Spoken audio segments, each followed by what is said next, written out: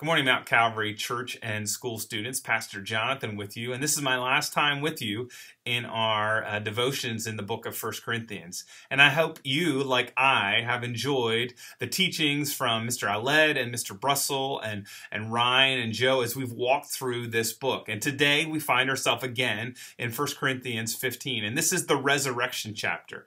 And we've said that, that the resurrection of Jesus changes everything. Not only does it change our eternity, but it should change change our everyday.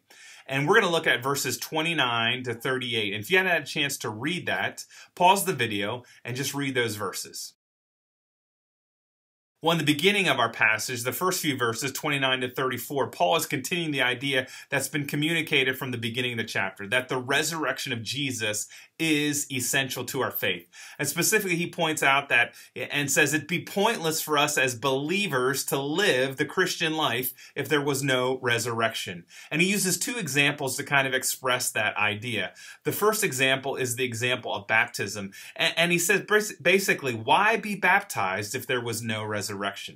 And now these verses are talking about the resurrection of the dead. And that's kind of a kind of a weird thought. It's a weird idea and there's lots of different things written about this in commentaries, but I think what they're talking about is in Corinth, some believers were were being baptized for other believers who had died and not yet been baptized. It's kind of a weird thought. Now remember baptism, it's kind of a picture of the death, burial and resurrection of Jesus and and and it, and us being united with him, dying to our sin and being raised to a new life in Jesus. Now remember that baptism doesn't save us, but it's really a public declaration of our faith. It's confirming that we have placed our faith in Jesus and we want everyone to know. And I think the point that Paul is trying to make is is if the resurrection didn't happen, then why is baptism so important? Then why were they so concerned about those who had died and not yet been baptized? If, if there was no resurrection, then, then why did baptism really matter?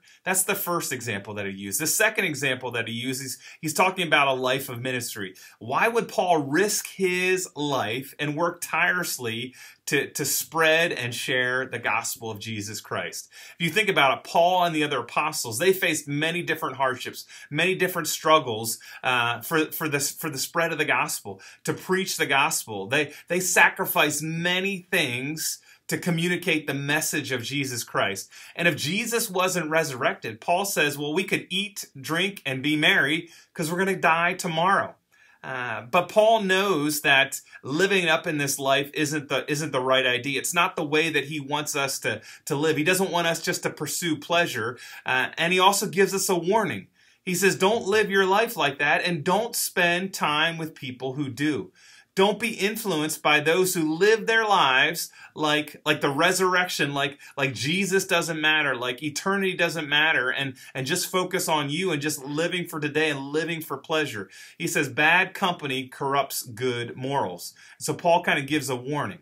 And now in the second half of our passage, in verses 35 to 38, Paul uses an example to tell us that the resurrection is everywhere. And, and the Corinthians had two main questions when it came to the resurrection. I think they're pretty good questions. They're, they're questions that probably maybe even you thought of. How are the dead raised? And what kind of body will we have? And Paul says, hey, don't be foolish. The resurrection is everywhere. Just look at the planting of a seed. Now think about this. You take a little seed, it's just a little ugly kind of round thing, and you bury it in the ground. It dies and then it springs up into new life. It resurrects into a into wheat or to grain or, or, or to a flower, and and and the, the thing that God designed it to become. And it looks like it looks nothing like the seed that it was, and it becomes a new life. And I think that's kind of the idea that uh, that the resurrection is kind of trying to communicate. In in a commentary that I read, Pratt, Pratt's commentary says this: Paul said, in effect, Believers will have the kind of body that God has determined they will have. Resurrected bodies will be different from mortal bodies, just as a seed is different from the plant into which it grows.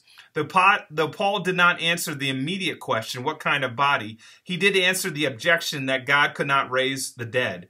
God displays his sovereign ability and desire to raise the dead each time he grows a seed into a plant. And so he says, hey, the resurrection's everywhere. And just as the seed dies and grows into a, a new plant, we, we will one day die and get resurrected new bodies. And so from our passage here in, in 1 Corinthians 15, we see that the resurrection is essential. And examples of it are everywhere. And it affects not only our eternity, but it, hopefully it affects our everyday, how we how we live our lives, our, our faith, our hope, and our actions. And so hopefully we are encouraged by the resurrection. It gives us purpose. It gives us focus on how to live our lives. And it gives us a hope that we will one day spend eternity with Jesus in those resurrected bodies. Hey, have a great week.